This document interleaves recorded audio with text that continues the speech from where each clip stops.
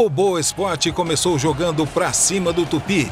Gustavo, aos 10 minutos, aproveitou a desatenção da zaga Juiz Forana e abriu o placar.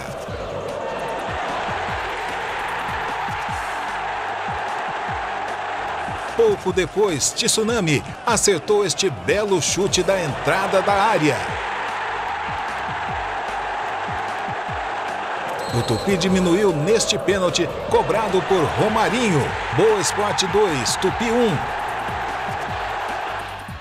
No final do primeiro tempo, Gustavo ainda sofreu pênalti que ele mesmo cobrou.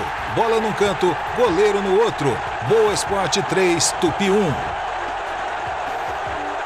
No segundo tempo, Boa continuou pressionando e Gindre, que havia entrado na partida, finalizou esta bola, selando o placar. Boa Esporte 4, Tupi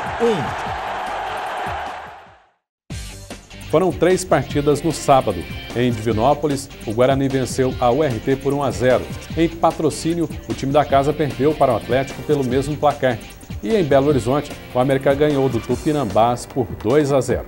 Domingo, mais dois jogos. Em Nova Lima, Vila Nova 1, Caldense 0. E na capital mineira, o Cruzeiro venceu o Tombense por 2 a 0. Com esses resultados, o Galo continua líder com 22 pontos, seguido pelo América com 21 e Cruzeiro com 19. Um pouco mais abaixo tem Boa Esporte e Patrocinense com 12 pontos, além de Tupinambás com 11, Caldense 10 e Tombense com 9 pontos. Vila Nova e Guarani têm 8 pontos. Na zona de rebaixamento, o RT aparece com 7 e Tupi com apenas 4 pontos.